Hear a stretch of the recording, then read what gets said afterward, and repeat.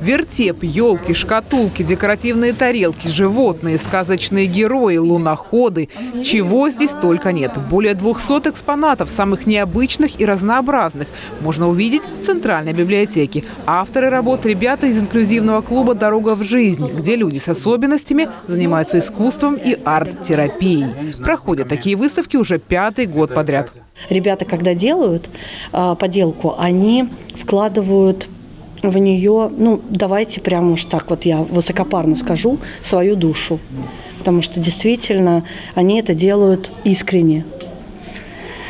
Так что приходите, восхищайтесь. Выставка не случайно получила название «Ценность семьи». Авторам в создании их шедевров активно помогают мамы и папы, братья и сестры. Креативом занимаются все вместе. Экспонаты на выставке представлены во многих техниках и направлениях.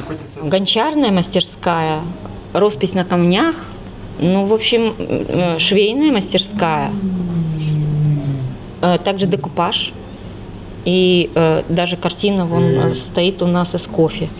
То есть у нас большое очень разнообразие. Две полки заняты работами Марка Бойко, и это лишь малая часть его творческой коллекции. Уже более семи лет молодой человек увлекается керамикой и талантливо воплощает в жизнь свои идеи и фантазии.